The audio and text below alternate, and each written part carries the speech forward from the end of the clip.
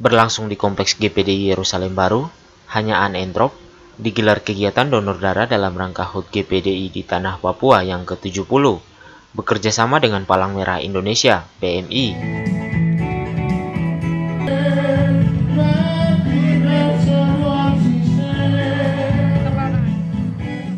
Para peserta donor dari 529 gereja yang datang sebelumnya melakukan registrasi terlebih dahulu Kemudian dilakukan pemeriksaan kondisi kesehatan oleh pihak PMI.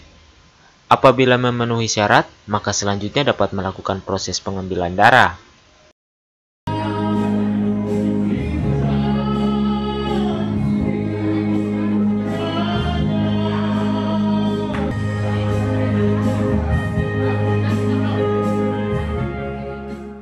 Koordinator pelaksana, Pendeta Luther Ayomi, mengatakan kegiatan ini melibatkan 67 wilayah gereja Pantai Costa Indonesia di tanah Papua.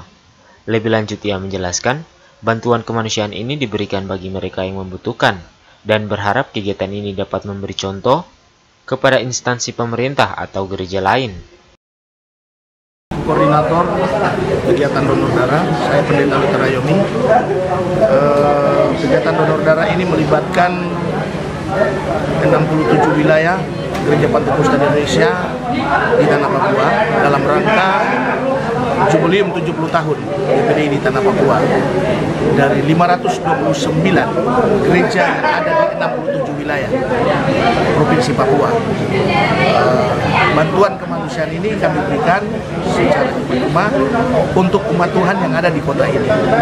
Itu sebabnya melalui kegiatan ini juga kami menghimbau kepada umat-umat yang ada di pus eh, di instansi-instansi pemerintah lain seperti TNI, Polri dan lain-lain tapi sampai Sementara itu dari pihak PMI, Ita menjelaskan dari hasil donor darah ini, PMI akan melakukan pemeriksaan atau screening di laboratorium untuk memastikan apakah darah tersebut aman untuk digunakan.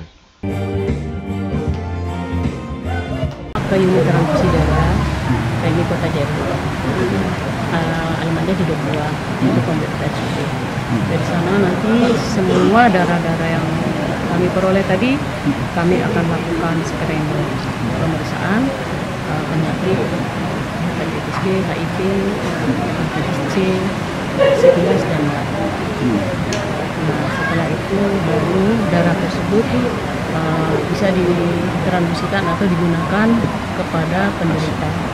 Tetapi masih ada pemeriksaan pemeriksaan lanjutan. Setelah di screening uh, nanti setelah uh, screening masuk ke, lab kalau ada pasien yang kita masih ada proses lagi ketidakcocokan.